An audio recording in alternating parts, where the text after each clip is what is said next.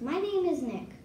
And I'm Serenity, and will be your host for this morning. Please join for the moment of silence.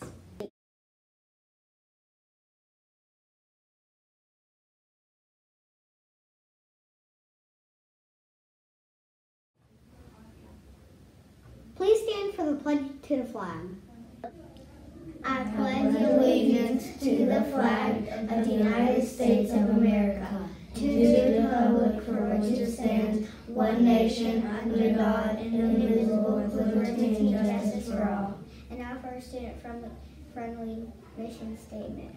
At RHES, we are learners today and leaders tomorrow. Today is Wednesday, October 28th, and we are on a day five rotation. For lunch today, we will be having steak and gravy and mashed potatoes. Did you wear red to show that you are happy and brave and drug free? Tomorrow is Thursday, a day to go relax and be drug free. And you can wear pajamas to school. Now here's Ruby with some hump day happiness.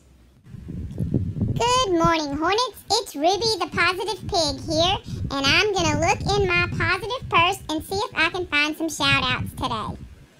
First, we have to Ms. Padrone from Mr. Nelson.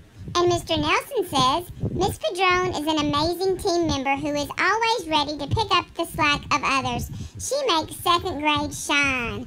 Good job, Miss Padrone. And then we have a shout out to Miss Benjamin from Ms. McCullum.